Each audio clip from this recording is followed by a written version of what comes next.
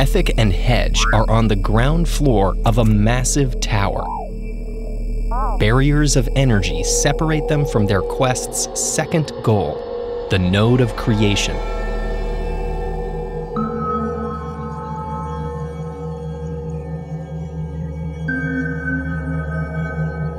To reach it, Ethic must use three energy streams to climb the tower. As soon as she steps forward, a timer will begin, counting down from 60 seconds. At the back of the room, there's a basin made of invisible towers that can hold energy between them. After one minute, a torrent of energy will pour down from above, filling one unit at a time, with a force field preventing it from spilling out the front or back.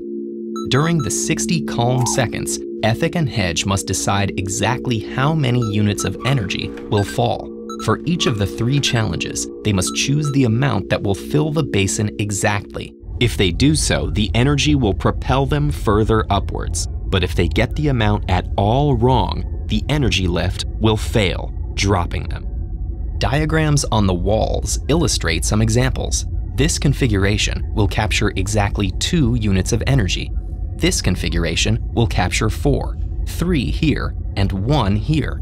And this one will also capture 4, because any energy on the right would spill out. The energy will rain down in such a way that it'll only overflow if there's no space that could hold it. Hedge can make one tower of blocks visible at a time and count how tall it is, but he can't look at the whole structure all at once. How does Ethic program Hedge to figure out exactly how much energy each basin can hold? Pause now to figure it out for yourself.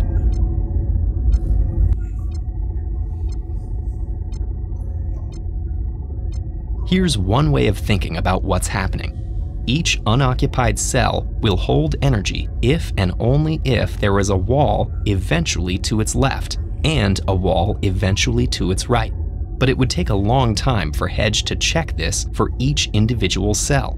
So, what if he were to consider a whole column of blocks at a time? How many units of energy can this hold, for instance?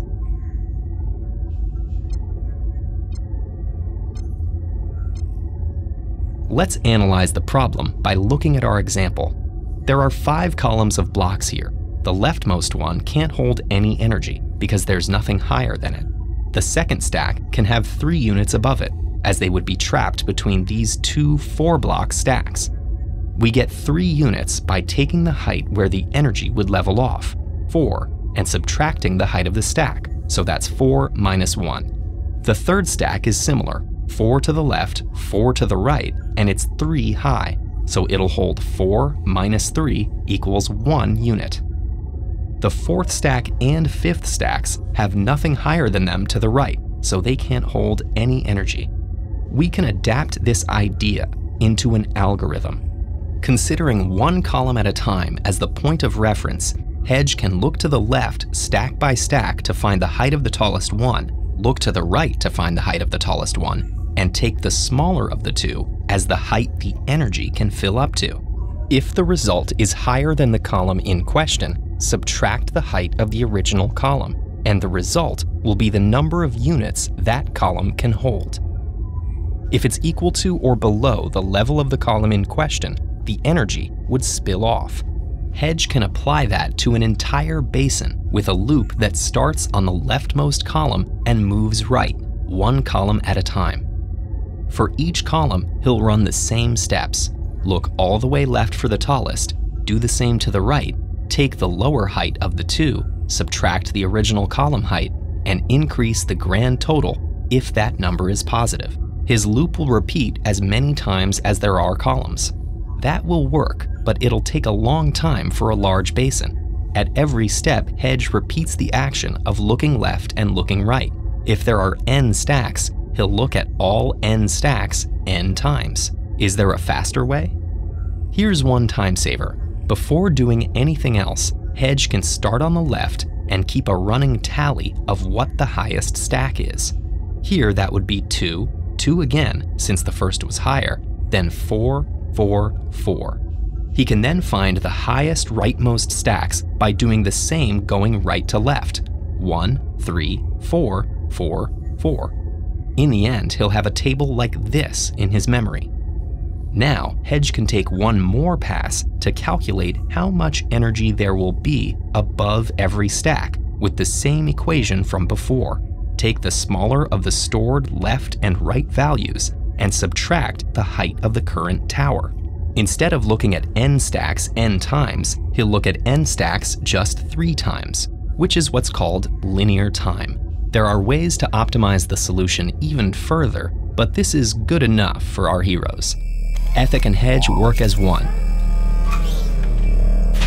The first cascade is a breeze, and they rise up the tower.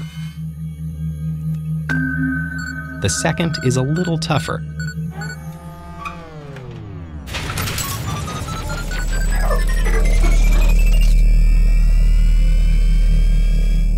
The third is huge, with dozens of stacks of blocks. The timer ticks down toward zero, but Ethic's program is fast. She gets the wheel in position just in time.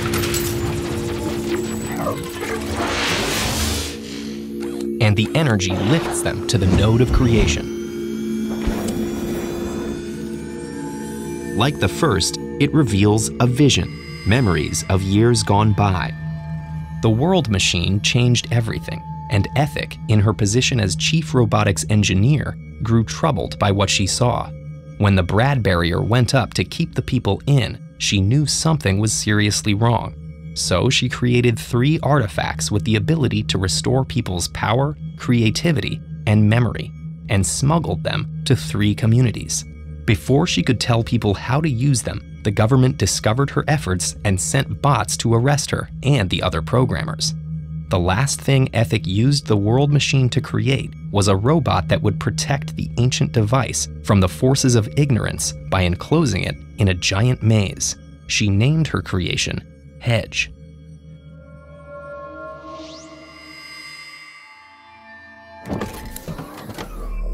Without warning, the energy lift flickers, then fizzles out.